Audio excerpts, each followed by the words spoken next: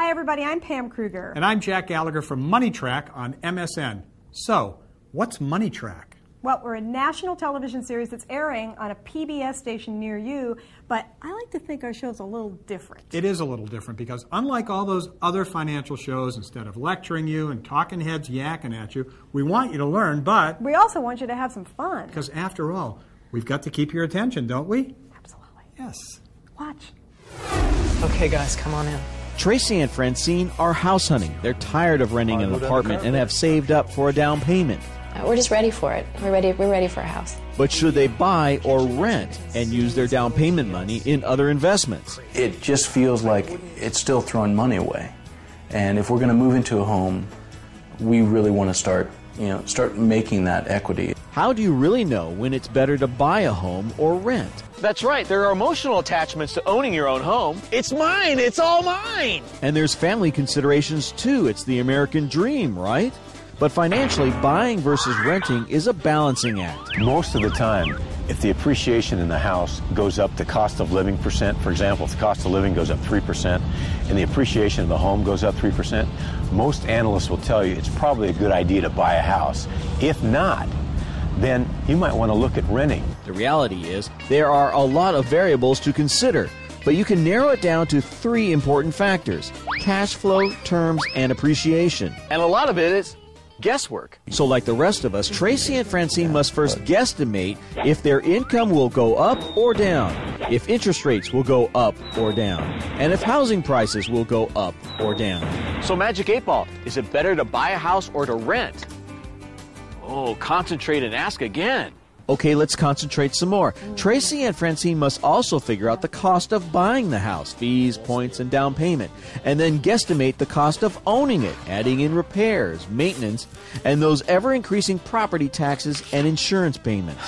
On the other hand, with renting, you just cut the landlord a check and send it off because the landlord assumes all these other expenses. But he gets the home ownership tax breaks. The renter doesn't. You seriously want to be watching this? So, where are Tracy and Francine in regards to cash flow? Tracy makes good money as a video editor. Traditionally, lenders don't want your monthly debt, including your house payment, to exceed 36% of your monthly gross income. But that's not reality. Most of the time, people will get mortgage debt that surprises them. They think, well, you know, I didn't qualify for that loan, but I got it. There's a lender out there, typically, if you've got a job, who will help you find a way to get in the house.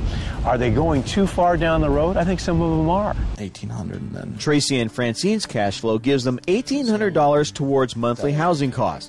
Based on cash flow, buying is a good option for them because renting a comparable house is about the same cost per month. But now factor in terms and appreciation. The rule of thumb here the longer you hold the house, the less appreciation you need to beat renting. And the opposite is true. The shorter you hold the house, the more appreciation you need to beat renting. This is where more guesswork comes in. Check your newspaper's real estate section to see how much homes in your search area are appreciating. This has been on the market for about five days. Tracy and Francine are looking to hold their home for only five years.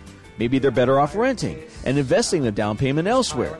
But the area they want to buy has been appreciating in double digits for several years. So their gamble to buy instead of rent could pay off. There's kind of this feeling that the, the market is really hot, and that if we don't actually get the house now, that we're not going to be able to get a house. So it's all a balancing act between cash flow, terms, and appreciation, and predicting what's in your future. So, Magic 8 Ball, is this story over? Ah, decidedly so. Now, after seeing that, I bet you want to learn a little bit more about financial education, investing. Well, you're in the right place because MSN Money has all the tools, all the calculators, and great articles that can get you where you need to go. In other words, we can keep you on track. Speaking of Money Track, the links below are very helpful. Click on Money Track to find out when and where you can watch our show on PBS. Very important. And also, you might be interested, Money Track is underwritten entirely by the nonprofit Investor Protection Trust. Click on the IPT link to find out what they're doing to promote investor education. And just in case you've been daydreaming a little bit about retirement, we have lots of great lifestyle ideas for all you retiree wannabes. I made that up. You did. I did. Good. I'm giving you full credit. Stop.